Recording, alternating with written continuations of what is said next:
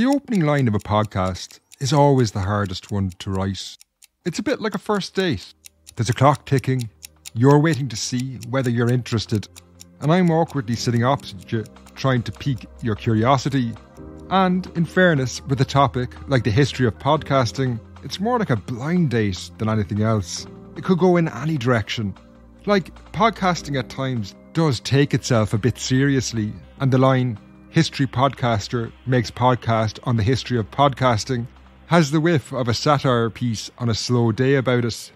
But when you strip it back, the story of how podcasting emerged is intriguing. Imagine trying to explain podcasting to someone in the 1980s or early 1990s. How would they react if you told them that you sometimes spend hours in the company of a stranger you've never met? What would they say if you told them that you sometimes listen to them when you feel down, that you take their advice on how to feel better, and they might influence your political views? You might go as far as to say that some podcast hosts even feel like a friend. And maybe you admit that on occasion you even financially support a podcast. Now, that person in the 1980s or 1990s would probably tell you you're in a cult. Explaining how podcasting emerged, though, is a fascinating journey through the history of our times. An era that has seen phenomenal change.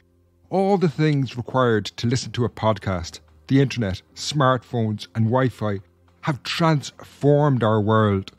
Because we've experienced these events, because we've lived through it, we often struggle to fully appreciate the depth of this change. But while you might not be a revolutionary, you are definitely living through a revolution.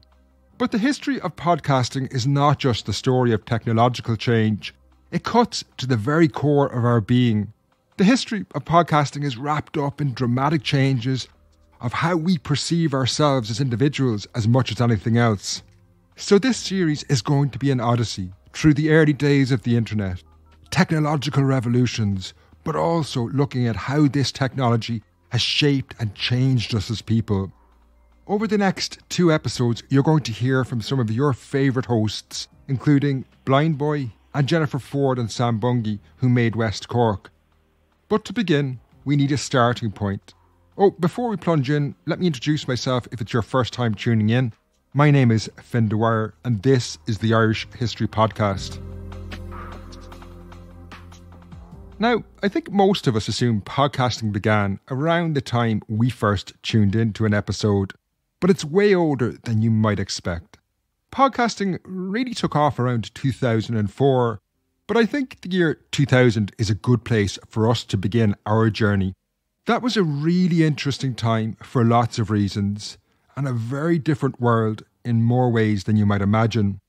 The internet in Ireland in the year 2000 was, for most people, still in its really early days. Looking back at the conversation happening around the internet is almost like someone in the early 1900s talking about the coming of electricity. There was a lot of talk about an internet revolution, but it hadn't yet arrived. It was kind of like an architect had made the plans, but very little work had taken place on the ground. For example, this one will seem really funny today, but in that year, 2000, Síle de Valera, a government minister of the time, would talk about the coming of the internet like an Old Testament prophet.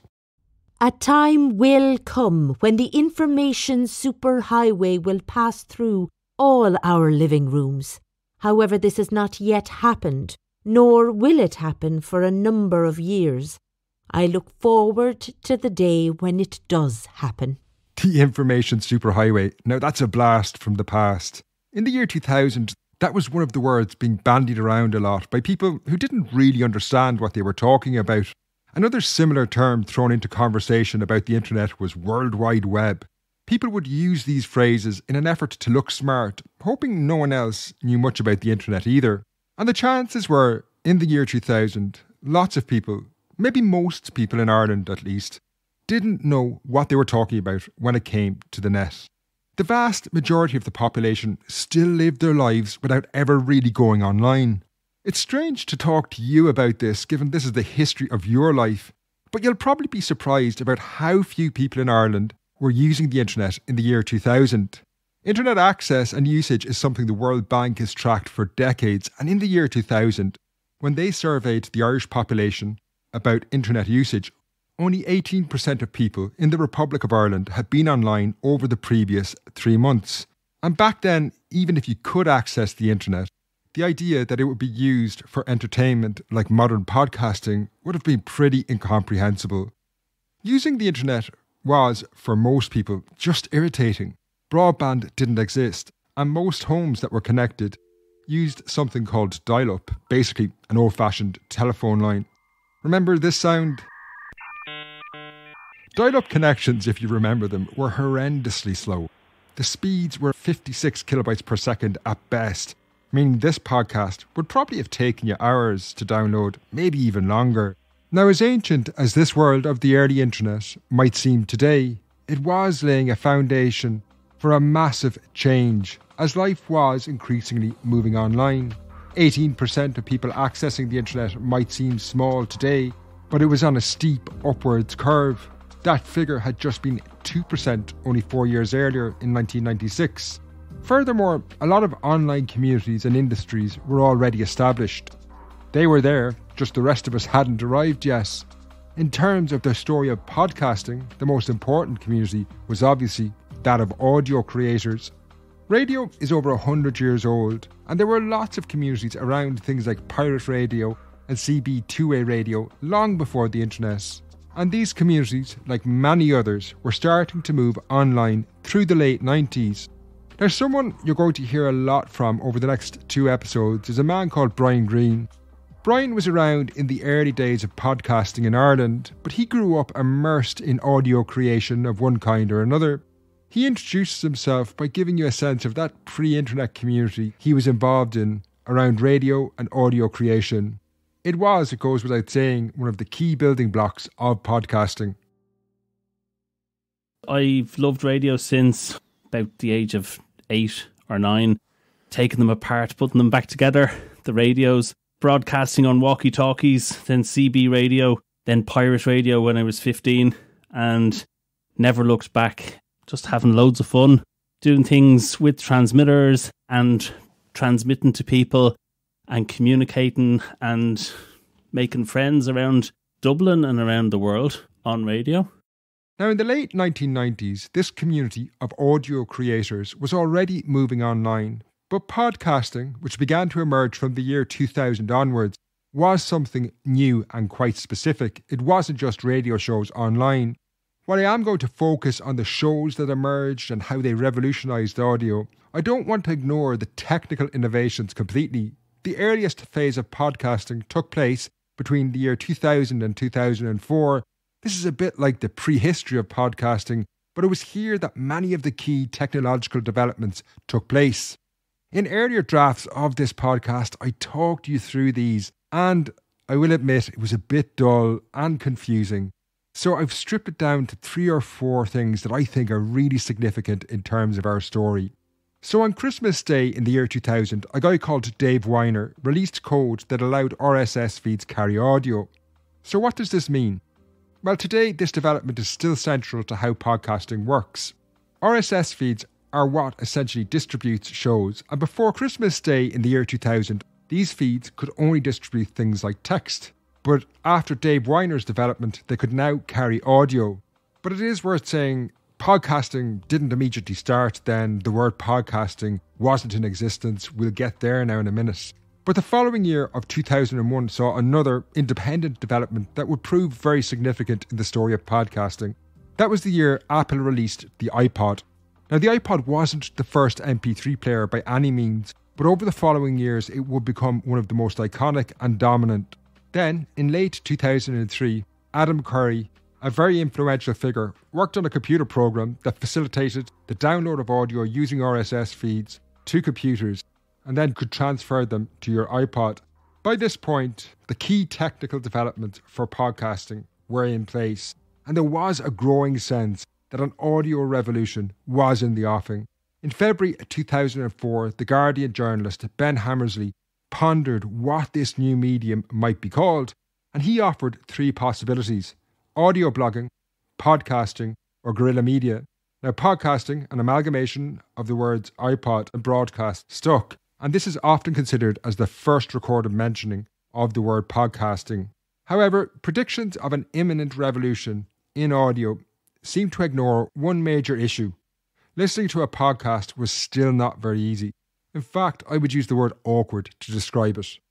Brian Greene explains some of the issues people faced when they were trying to download and listen to podcasts. So, the easiest way would be that you could listen online, but the whole idea was that you synchronize to a device and you listen on the go. So, phones were incapable of really downloading the stuff, and there wasn't the capacity on a phone to hold the files you might want to listen to. This is how most people went about it. They have downloaded the audio over a 56k modem overnight, synchronized it to their iPod, and put it on when they were on the bus going to college or work.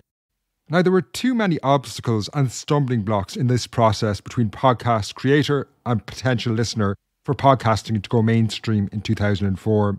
And while it was clear this wasn't going to become immediately popular, a community of early adopters to podcasting did emerge in Ireland in 2004. For example, the website podcaster.blogzone.com was hosted by an Irish guy, Liam Burke, who still makes podcasts today. In fact, he was actually one of the first people to make a podcast in Ireland. But anyway, I went through the archives of that site to get a sense of the early community, and you could definitely see from the posts that there was a sense of something in the offing. People were hoping there might be financial investment, but it wasn't yet happening.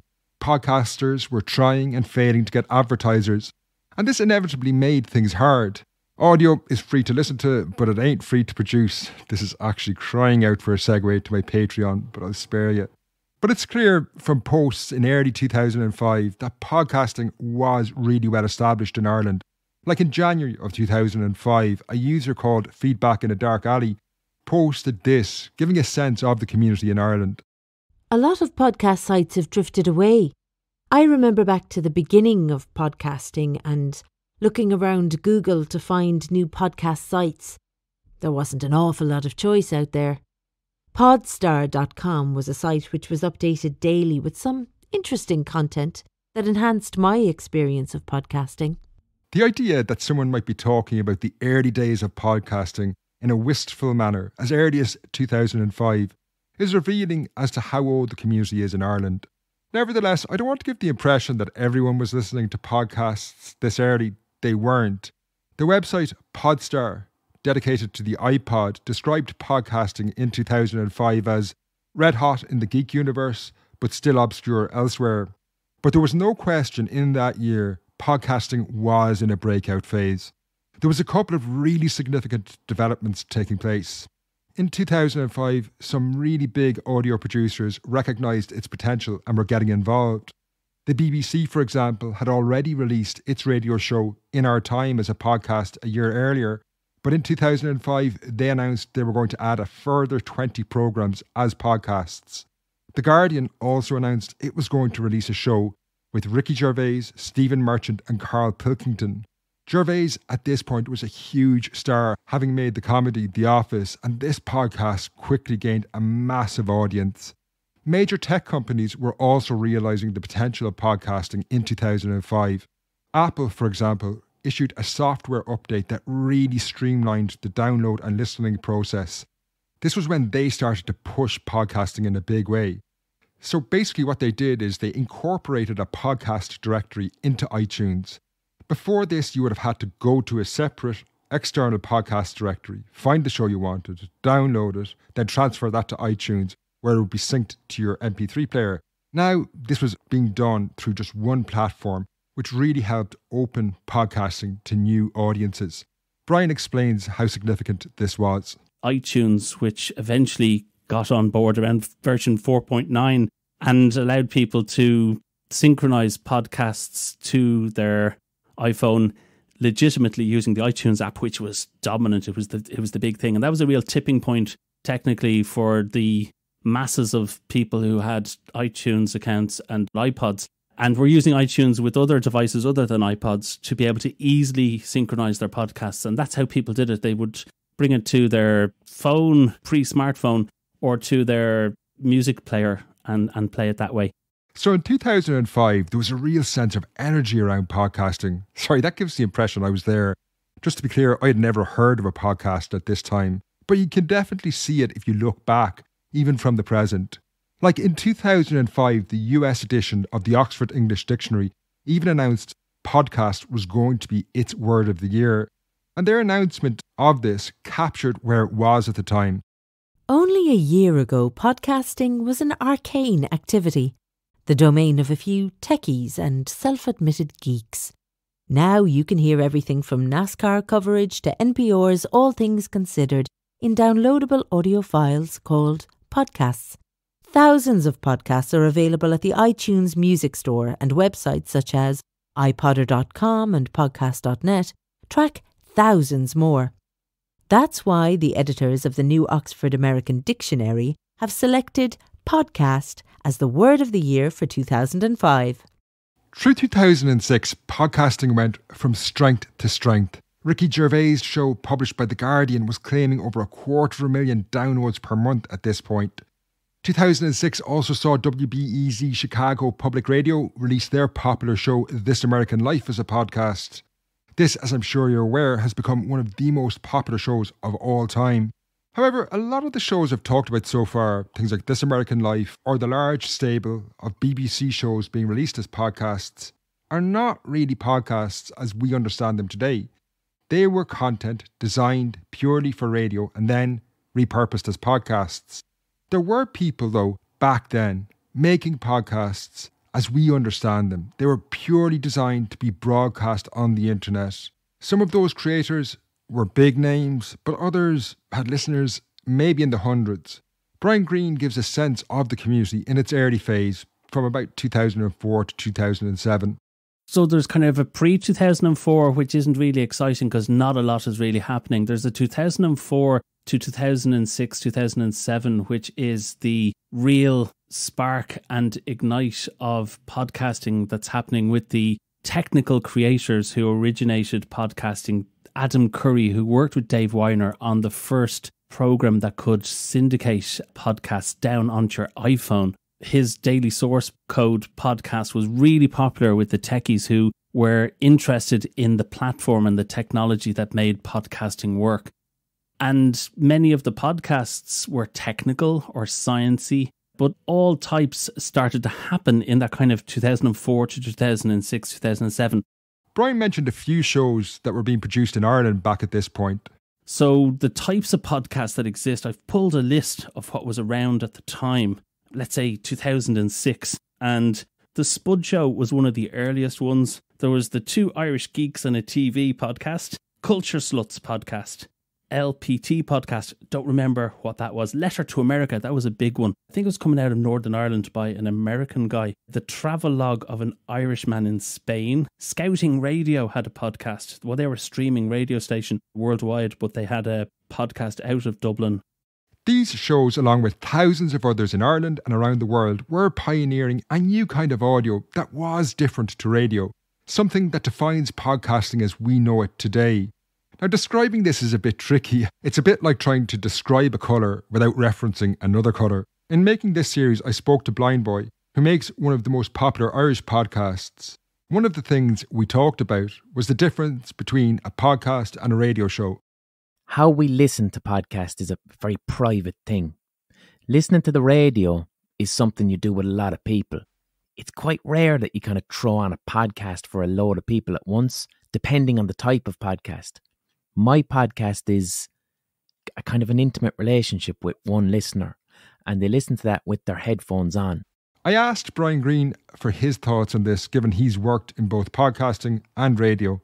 Yes, there is a difference. I I think that when the BBC take their weeks of podcasts or podcasts they made this week and put them out at 11 p.m. and midnight on a Saturday because they're just filling in some time before the one o'clock show they don't work on radio because they're made for a different audience. Radio traditionally has been made for reception by a speaker. It might be in a car, it might be in a kitchen, it might be in a hotel lobby, it might be in a workplace.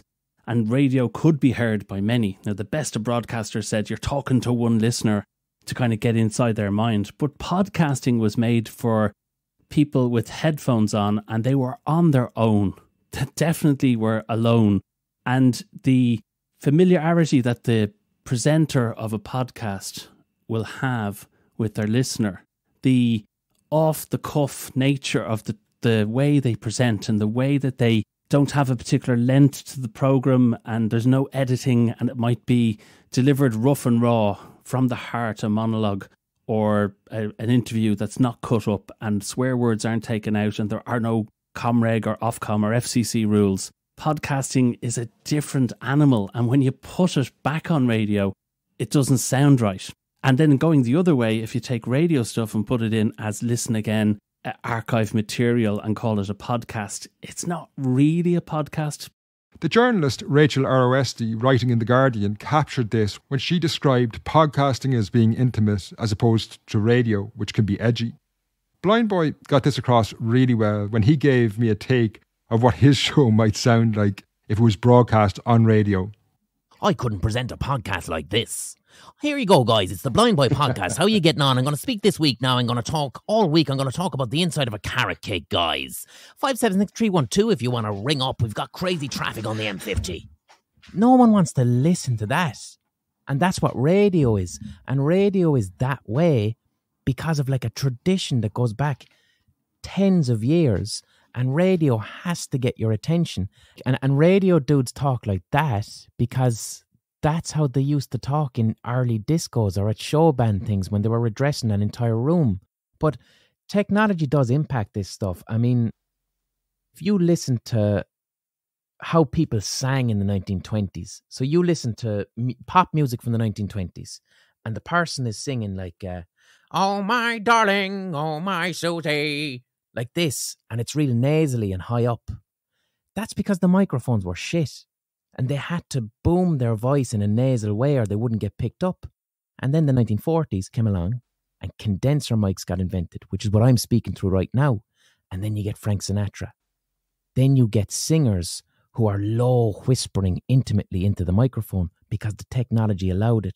This casual, more intimate style was pioneered back in this first phase of podcasting as early as 2005 and 2006. Brian Greene sent me a show he was making back then. It was called RadioEcstasy.net. It had a neat intro, as you're about to hear, but you can hear something pretty distinctive, a more casual style we associate with podcasts today when the show proper begins and Brian introduces his guest, Stano. It almost feels like you've just walked into the room where they're recording. We are living a way beyond our means. In Ballymun and Beijing. Radio WXTC.net. In Coolock and Cairo. Radio WXTC.net. In Artane and Amsterdam. Radio WXTC.net.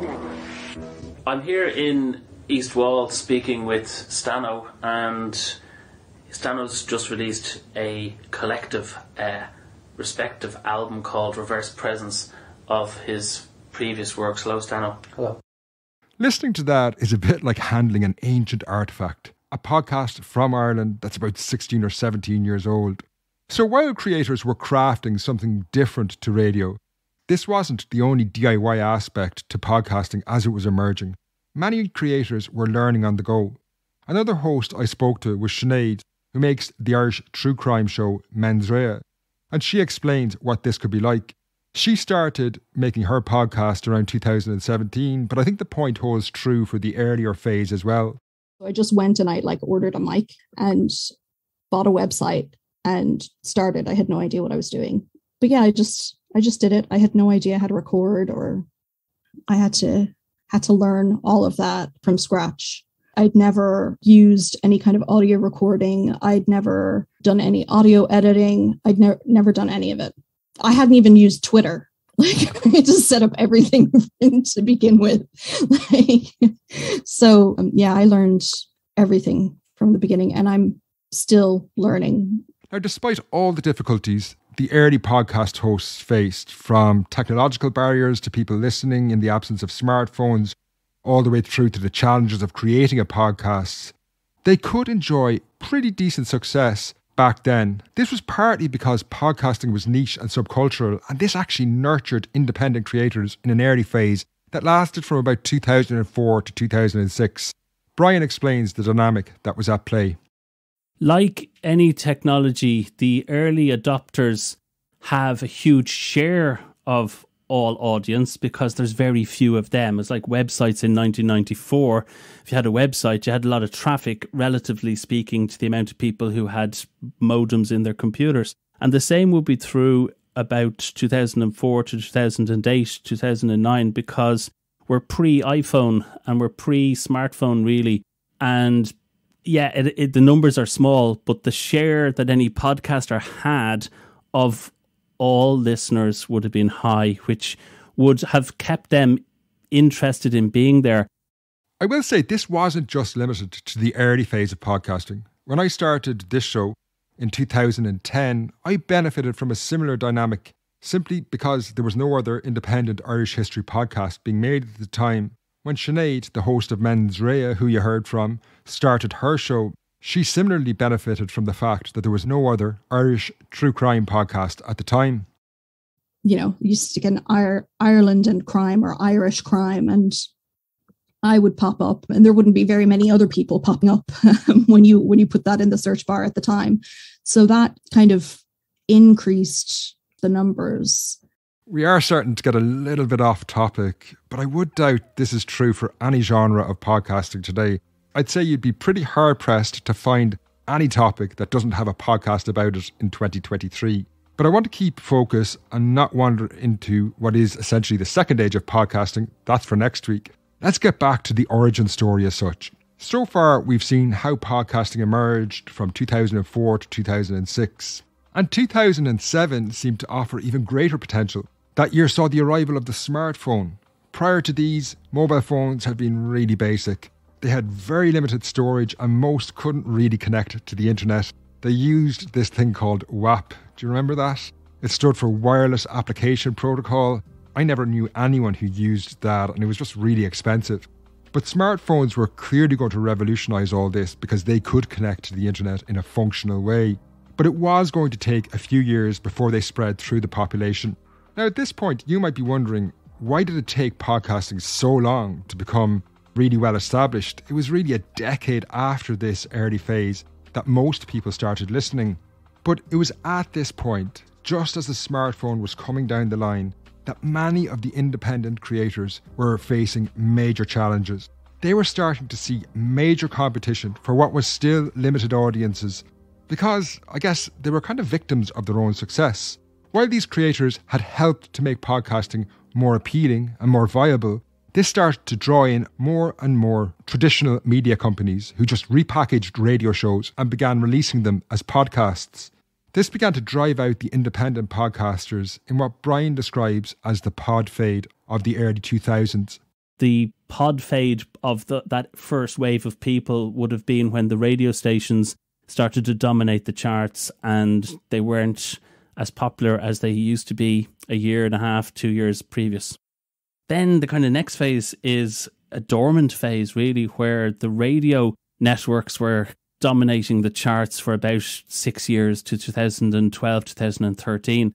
And the independents were shoved out a bit in terms of size. I could definitely see how small indie creators would have felt the squeeze as big media corporations started to take their audience. It must have been really disheartening. Don't forget, there was no Patreon that would help sustain creators back then. And around this time, another factor came into play. That's the 2008 recession. That hit podcasting really hard. In recessions, advertisers retreat into safety, and trying to convince them that they should go with podcasting, a new, novel form of media, was very difficult. So the major financial investment people had hoped would come clearly wasn't in that climate. By 2009, podcasting was in something of a wilderness. It didn't stop or anything like that, it just wasn't the in thing anymore. The term Brian used, fade, is a good description for what was happening. It doesn't mean, as I say, podcasting disappeared. Lots of us, maybe yourself included, started listening to shows back then. But there's no question, in general, podcasting was being discussed less. Anecdotally, I remember when I started this show in 2010, a really common conversation you'd have with people was, What's a podcast? Now, a really fair question you might have at this point is how did podcasting get from 2009, say, where it seemed to be in decline, to the 2020s, where pretty much everyone seems to be making a podcast? That's going to be the focus of next week's show. But before I let you go, I want to circle back and put a pin in a few things that were happening in wider society that I think were really significant in terms of the success of podcasting when it would bounce back around 2013 to 2014. In the early 2000s, entertainment in general was trending away from collective experiences towards more individualistic ones. Now, you might wonder what I mean by this and what the hell it has to do with podcasting, but you have to bear with me here. So, this trend began decades earlier, in the early 20th century. In the past, traditional forms of entertainment tended to be more communal, more collective, like things like sport or storytelling on a dark evening. As I say, these were intensely collective, and people often just gathered for each other's company as much as everything else. The emergence of television in the later 20th century certainly undermined this. By the 1980s and 1990s, it was one of the most common forms of entertainment, and it was very different to the collective experiences of the past.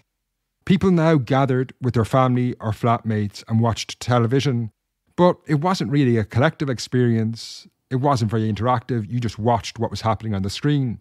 It's a very much a one way style of communication. Now, while television was making entertainment more individualistic, it also was having impacts in other ways as well. Soccer is a good example, and stay with me for this, because I think it is a pretty significant example. So, through the early 2000s, more soccer matches than ever were being streamed on television. While stadiums remained packed out for higher profile games, broadcasting these games began to erode the collective experience of people who attended football in lower leagues. A study in Strathclyde University, which analysed the 2002 to 2003 soccer season in Scotland, revealed that when a game was available to watch on television, attendances fell by 30%. What matters to us, though, is that this was just another example of an intensely collective experience, that of attending a soccer game, was being replaced by a more solitary, individualistic one that of watching the game on TV. Society as a whole was becoming more atomised. And I think this helped prepare the ground for podcasting, which, as you know, is intensely individualistic. If you're listening to this with somebody else, I would imagine it's pretty unusual. Now, I'm going to return to this next week, but for the time being, I just want to flag that this process of collective entertainment being pushed aside for more individualistic ones was very advanced by the early 2000s. Then finally, there's also one other event that happened in the year 2000 that we'll discuss a lot more next week. It would be over a decade before it had an impact on podcasting, but in February 2000, an American man, Adnan Syed, was sentenced to life in prison plus 30 years for the murder of a woman called Hae Min Lee. A podcast series, Serial, which investigated this case over a decade later, would have a huge impact on the world of podcasting in general. But that's a story for next week. It's one of the many parts of the jigsaw that explains just how podcasting has become so popular. Before signing off, I just want to say one thing. This series is not designed to be a who's who of Irish podcasting or international podcasting. Sorry if I didn't include you, it wasn't intentional. It was really hard to edit this down. And lastly, I want to say thanks to Brian Greene for his interview and sharing his research on podcasting. Thanks to Sam Bungey and Jennifer Forde, who made West Cork, Blindboy, Sinead, the host of Mens Rea, DJ Walsh, and Eoin Tabb, the host of the Snugcast. While you didn't hear from all of these people in this episode, they will feature in the coming show, and their insights were extremely useful in shaping the series as a whole. Sound was by Kate Dunley. Additional narrations were from Therese Murray. All that's left to say is my name is Fin Dwyer. This has been the Irish History Podcast. Oh, and before I let you go, if you did enjoy the podcast, consider joining the listeners who make the show possible by supporting my work on Patreon. I have links to Patreon and Acast Plus in the show notes below. A small amount from you really makes such a huge difference because when lots of listeners do it, it helps get this show out. Thanks for your time. Until next week, Slán.